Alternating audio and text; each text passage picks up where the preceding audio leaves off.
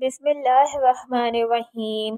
उम्मीद करती हूँ आप लोग सब खैरियत से होंगे। आज मैं बहुत ही मज़ेदार फ्रूट चाट की रेसिपी लेकर आई हूँ। ये जो है, मैं चेंज स्टाइल में बना के तैयार करूँगी। तो चलते हैं रेसिपी की तरफ़। रेसिपी को एंड तक देखिएगा। सबसे पहले जो है, मैंने स्ट्रॉबेरी और साथ ही साथ एप्पल्स ले लिए हैं। सबसे पहले इसमें जो है वो मैं एप्पल ऐड करूँगी। बिल्कुल नॉर्मल और बिल्कुल बारीक जो है वो मैंने इसकी कटिंग करी है। एक एप्पल लिया है और उसकी मैंने छोटी छोटी कटिंग कर ली है। इसी तरह मैंने स्ट्रॉबेरी की भी छोटी छोटी कटिंग कर ली है। वो भी मैं इसमें ऐड कर दूँगी। और साथ ही साथ जो है मैंने दो केले लिए हैं। उसकी भी मैंने गोल गोल कटिंग कर ली है। वो भी मैं इसमें ऐड करूँगी। वैसे आपके पास जो भी मौजूद हो आप ऐड कर सकते हैं। एक बॉल में जो है मैंने एक स्पून पानी लिया है। उसमें वन स्पून इसमें मैंने टैंक ऐड किया है।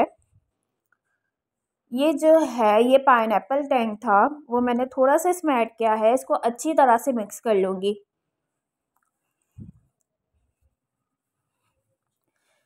और जो है, मैंने दो कीनू लिए हैं।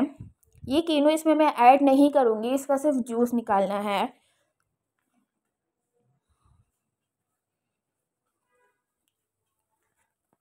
मैं जो है इसके अंदर दो कीनू ऐड करूँगी और जो है इसके बीच में कट करके कीनू का जूस निकाल लूँगी। इसके मैंने जो है दाने वो निकाल देने हैं, वो ऐड नहीं करने सिर्फ़ इसका जूस ऐड करना है।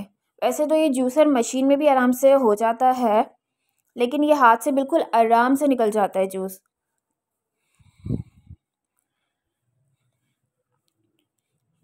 इसी तरह जो है मैं दूसरा भी जूस निकाल लूँगी।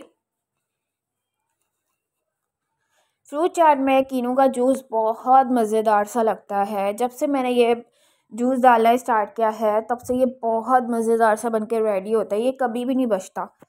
देखिए मैंने जूस निकाल दिया है इसमें।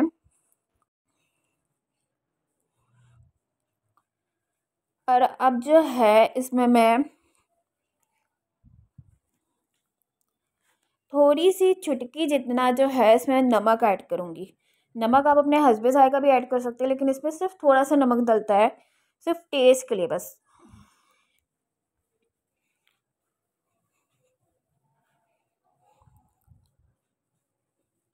और थोड़ा सा ही जो है, इसमें मैं चाट मसाला ऐड करूँगी, सिर्फ़ थोड़ा सा। हाफ़ स्पून जितना जो है, इसमें चीनी ऐड की है। स्टोरेज की वजह से जो है, मेरी वीडियो स्किप हो गई थी, माजरत चाहती हूँ। एप्पल का जूस ऐड करूँगी।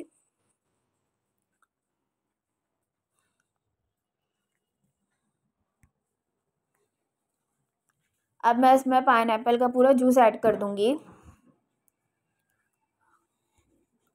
और साथ ही साथ जो है कीनू का जूस भी इसमें मैं ऐड कर दूँगी। और अब मैं इसे अच्छी तरह से जो है, वो मिक्स कर लूँगी।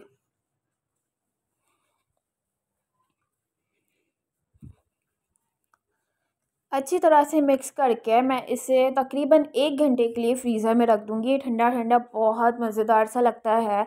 और फिर जो है इसे अफ्तारी में इसे सर्व करूँगी। ये बहुत मज़ेदार सी रेसिपी है, आप इसे लाजमी ट्राई कीजिएगा।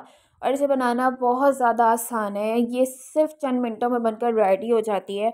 रेसिपी पसंद आए तो लाइक ज़रूर कीजिएगा और कमेंट करके बताइएगा रेसिपी कैसी लगी। मिलते हैं नेक्स्ट वीडियो के साथ। तब तक के लिए अल्लाह